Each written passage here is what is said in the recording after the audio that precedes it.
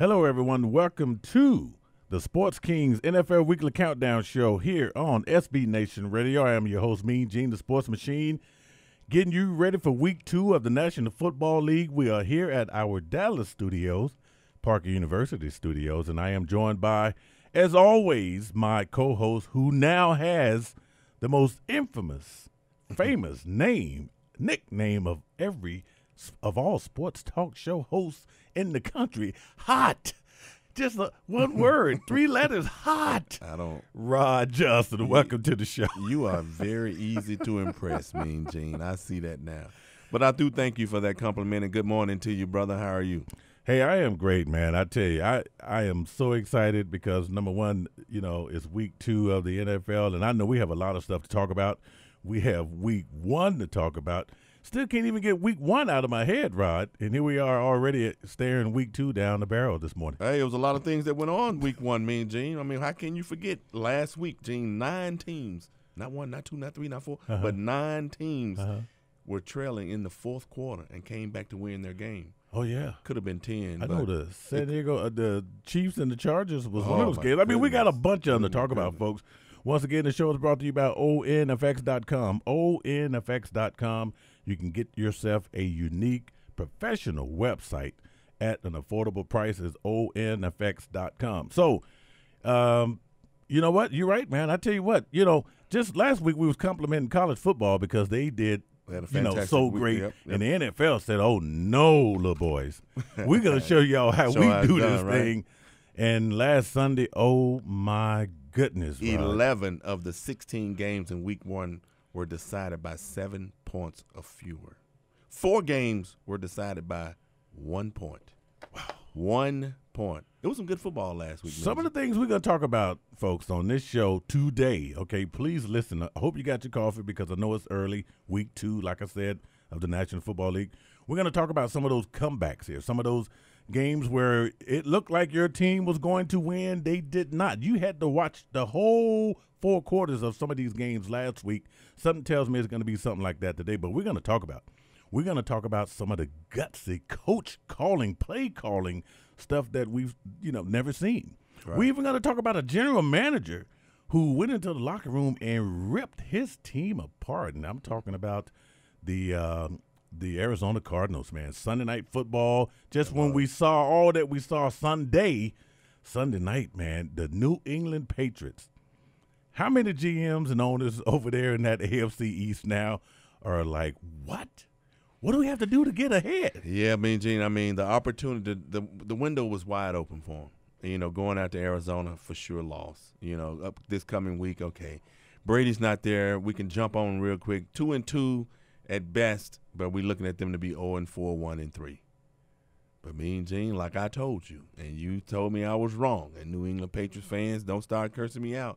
Tom Brady has played his last game as a New you not you not going with that again? Tom? Brady has played his last game. no game. Hall of Fame or nothing. No, No, no, he, no, he, he's going to the Hall of Fame. Okay, we give him Hall of Fame. but he will not get on that field again this year. oh my goodness, folks, let me tell you. I'm just joking. I'm Yeah, just. I, I know, I know. Uh, you know, and when you said that a couple of weeks ago, I'm like, no, he didn't, right?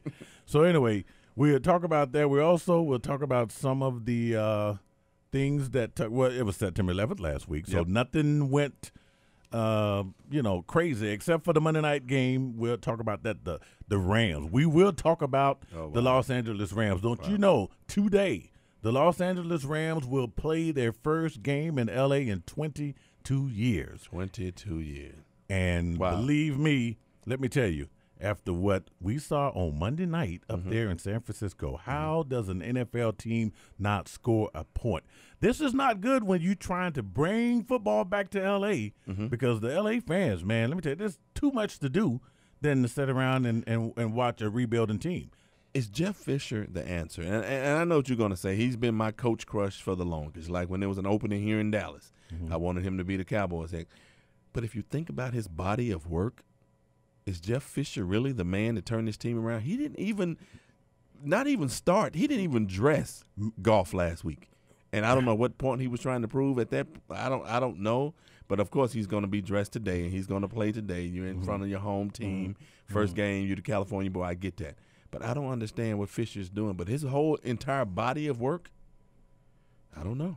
Other than making it to a Super Bowl and, Uh, and making it to Super and Bowl being with one of the longest tenured, you know, coaches at one spot there in Tennessee for all those years. Everybody just likes him, I guess. Everybody likes him, but yeah, he didn't have a choice. I mean, you get beat twenty eight nothing with Case Keenum, you have no choice now but to put. but would it have been twenty eight nothing? It would have been excusable if it was twenty eight nothing with your rookie quarterback. True. You had two rookie quarterbacks starting last uh, last week. You know, and that honestly, Gene, if you think about it, that makes nine consecutive seasons, which is the longest streak uh, since 1950 that a rookie quarterback has started in the open week. And we all know we're talking about Carson Wentz. Fifty. Yeah, 1950. we also we all, we're talking about Carson Wentz and we're talking about Dak Prescott. Right. Carson Wentz, I apologize. I thought you were going to be crappy doo doo last Whoa. week, and you had a phenomenal Oh, game. maybe we got played by the Philadelphia Eagles and Yeah, thinking they knew what they something. were doing. I mean, you get rid of Bradford, Get rid and of you Bradford. go with the rookie with Yep. without even a sweat. Yep. And look what happened. And look what happened. And the key is no interceptions from either one of them. Last week, both of them played great games. Talking about Prescott as well. I know he's still. Dak Prescott needs to realize how much power he has, and the power he needs to realize he has is to say, "I want Terrance Williams cut." No, I'm just, I'm yeah, joking. yeah, I but- hey, look here. You got to be careful not to let that kind of power go to a rookie's head because hey, get get a win. You know, and and it's so funny living here in Dallas and listening to sports talk radio, especially when Dallas lose a game. But you know, hey, I and we'll talk uh, more about the Terrance Williams and and that whole fiasco because the Cowboys should be one and zero. I mean, at least when you got a kicker like Dan Bailey, you almost guaranteed But if you, you- get to the right part of that field, you're going to get three points. But you know, in all in all fairness to Terrance Williams, we can't blame just him. It was an idiotic play from a football perspective. Understand, you know, that competitiveness kicked in, but there were plays leading up. Dunbar True, made a true, bonehead true. play. There were plays that I mean, Penalties. getting, getting inside of the the A lot of penalties. A lot of penalties. I mean, not more than your Raiders though, but getting inside the, the red zone that many times and only coming away with field goals, and that's going to hurt you. So I Mm-hmm. Can't.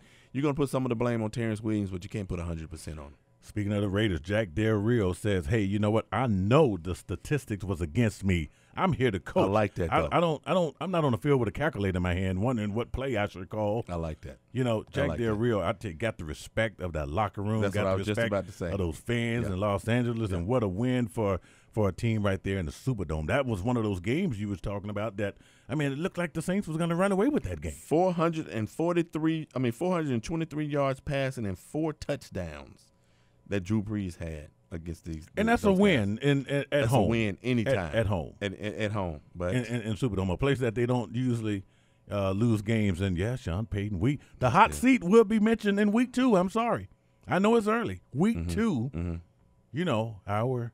Uh, former sports kings, Ronnie B always brought up hot seat. and I used to jump on him for bringing it up so early in the season. hot seat already, Gene. Week two, hot seat, and I, a couple other people. How about John Fox? How about the Bears? Go to Houston, get 14 points up on there. Look like they're going to run Houston out of Houston. Mm-hmm. Next thing you know, the Houston defense shut them down in the second half. The Chicago Bears didn't score a point. Not they a point. lose 23 to 14. Yeah, I mean Houston is one of those teams, not necessarily a surprise team. We expect that from them. We expect that from them with their defense that they have, and we expect it, you know, on the offensive side of the ball. Will Fuller, I told you, I Mm. told you to pick him up in your fantasy football Mm. draft, and you didn't. No, I didn't. Yeah, because he's on But my I did bench. win last week, though.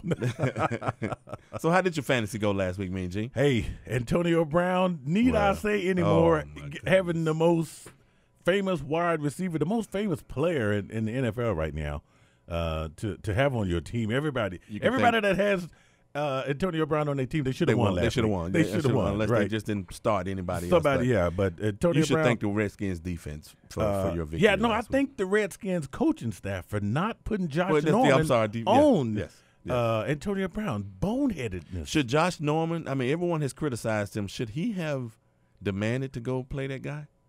I don't know if you the best. I He's mean, you look at you look I'm gonna tell you right now, he's not the best. Let's look at Deion Sanders back in the day. You Would- can't compare would- the two. Well, I'm just saying, would Deion ever step down? I mean, you got some great players out there, Pac-Man Jones. There's a lot of guys that don't. Pac-Man Jones. I mean, that would just. Uh, uh, I want that competitiveness. that want that Okay, competitiveness. okay, okay. That's what I'm talking about. Did I'm you not- compare Pac-Man Jones? No, I ain't Deion comparing Pac-Man. I'm just comparing. Hey, give me your What's best. in your coffee cup right now? Oh, What's in your cup? But the, I mean, the biggest thing that I got, I don't think that Josh Norman is the greatest a defensive back everyone says he is. I think it was the protection of that front seven at Carolina that that shielded some of his his You, play. you don't have to say that he is. His bank account tells him that he is. Well, I mean, true, true. I mean, but that's the Redskins, though. You know, the Redskins would jump up and just dish out money. They've always done that before. Yeah, well, I tell you what, I tell you what, we have a lot of stuff to talk about, folks, here in this first segment of the Sports Kings here on SB Nation. It's coming to an end. Grab your coffee. We'll give you time to come back and sit down because we're going to get into some of the picks. We're going to get into some of the games that shocked us. Stick around, folks. You listen to Mean Gene, Hot Rod Johnson, right here on SB Nation Radio.